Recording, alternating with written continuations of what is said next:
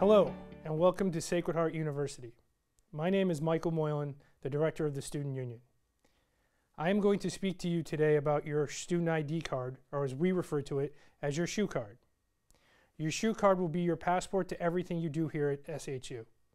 It will be used as a key to access your room, campus buildings, the shuttles, one of our many campus gyms, as well as both student activity and athletic events.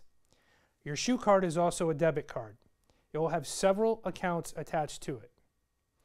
These accounts include your meal plan, SHU print account, which allows you to print and make copies at our print labs across campus, your laundry fund, pending on your residence hall, you'll be given 65 laundry swipes per semester, and your general account. Your general account is a debit account that allows you to put money on your SHU card to be used at on and off campus participating vendors. These vendors include such places as CVS, Whole Foods, the Shell Fairfield gas station, and many other local restaurants and vendors. A complete list can be found on our website listed on this screen. You'll receive your SHU card at your orientation.